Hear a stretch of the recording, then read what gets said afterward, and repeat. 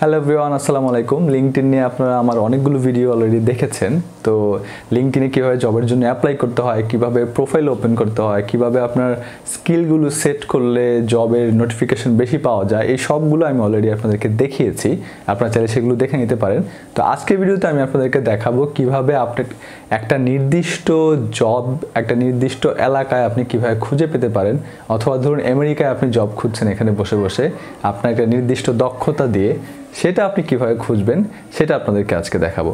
চলুন কথা না বাড়িয়ে আমরা সরাসরি স্ক্রিনে চলে যাই। এটা হচ্ছে আমার লিঙ্কডইন হোম তো আপনাদেরকে আগে দেখিয়েছি কীভাবে আপনি লিঙ্কডইনে স্কিল সেট করে রাখলে আপনি নোটিফিকেশন আসবে বিভিন্ন চাকরির। তো অনেকে বলেছে নোটিফিকেশন আসছে না বা কোনো সমস্যা হচ্ছে, তাহলে এটা অবশ্যই আমাকে জানাবেন কেন সমস্যা হচ্ছে বা আপনার যে স্কিলের যে অংশটা আছে লিঙ্কডইনে সেটা আমাদেরকে দেখাতে পারেন। তাহলে হয়তো আপনাকে একটা সলিউশন দেওয়া যাবে। তো আমরা আজকে দেখাবো কীভাবে জব নিজে খুঁজে বের করবেন। তো এখানে আমি জবস অপশনে যাব। জবসে যাওয়ার পর বিভিন্ন ধরনের জব আপনাকে দেখাবে, যেগুলো আপনার স্কিলের সাথে রিলেটেড বা রিলেট করা যায়, এই ধরনের জব এখানে দেখাবে। তো আমি চাই যে আমি খুঁজে বের করব। আমি ঢাকায় জব করতে চাই বা ইউএসএ তে জব করতে চাই, এরকম খুঁজে বের করব। তো এখানে আমি, আমার স্কিলে আমি লিখলাম যে ভিডিও এডিটর এখানে আমার সিটি আমি দিতে পারি ঢাকা। ঢাকাতে আমি এন্টার ক্লিক করলাম। করলে কিন্তু এখানে ঢাকার মধ্যে ভিডিও এডিটরের যে জবগুলো আছে ভিডিও টার্মিনাল এডিটর শিখো তারপরে video editor video editor whatever এরকম কিন্তু অনেকগুলো আমার দেখাচ্ছে অপশন তো আপনি এগুলো ঘুরে ঘুরে দেখতে হবে। এখন আপনি যদি বিগিনার হন, আপনি কিন্তু চাইলে যে তারা কি কি রিকোয়ারমেন্ট চায় সেগুলো দেখতে পারেন। আপনি যদি এখানে ক্লিক করেন সাইডে আপনার এই জবের বিভিন্ন অপশন চলে আসবে। তাদের কোম্পানির নাম কোম্পানির ডিটেলস কতটা ভ্যাকেন্সি খালি আছে এমপ্লয়মেন্ট স্ট্যাটাস এগুলো দেখাবে। তারপর হচ্ছে আপনার কোম্পানি ওভারভিউ কোম্পানির কি কি কাজ করতে হবে আপনার এখানে আপনাকে কি করতে হবে, আপনার কি লাগবে, আপনার যোগ্যতা কি কি লাগবে, তারপর আপনার স্যালারি কত দিবে, এটা স্যালারি উল্লেখ করেনি, বলেছে একটা নির্দিষ্টভাবে একটা স্যালারি দিবে। আর তারা কেন ভালো, এটা তারা এখানে বলেছে। তো এভাবে আপনি যখন প্রত্যেকটা জব সার্কুলার দেখবেন, তখন একজন ভিডিও এডিটর হিসেবে আপনার কোন কোন কোয়ালিফিকেশন লাগবে সেগুলো কিন্তু আপনি চাইলে বের করতে পারবেন। এখন ধরুন আমি ভিডিও এডিটর হিসেবে ইউএসএ তে জব চাই।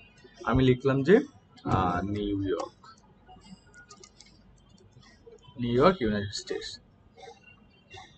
এখন দেখেন, এখন কিন্তু যেই জবগুলো দেখাবে সবগুলো হচ্ছে নিউ ইয়র্কে এই যে, আমি এখন যতগুলো job circular marketing video editor New York YouTube video editor for channel with three hundred K তারপরে video editor freelance fixed term এভাবে অনেকগুলো দেখাচ্ছে। আর আপনি ধরেন এভাবে খুঁজলেন, খুঁজে আপনি অ্যাপ্লাই করতে থাকলেন বিভিন্ন জায়গায়। একটা, দুইটা, তিনটায় হয়তো আপনার হলো না, কিন্তু আপনার কোয়ালিফিকেশন তারা যা যা চাচ্ছে, আপনি যদি সবগুলো মিট করতে পারেন, তাহলে কিন্তু আপনার কাজ পাওয়ার সম্ভাবনাটা থাকবে।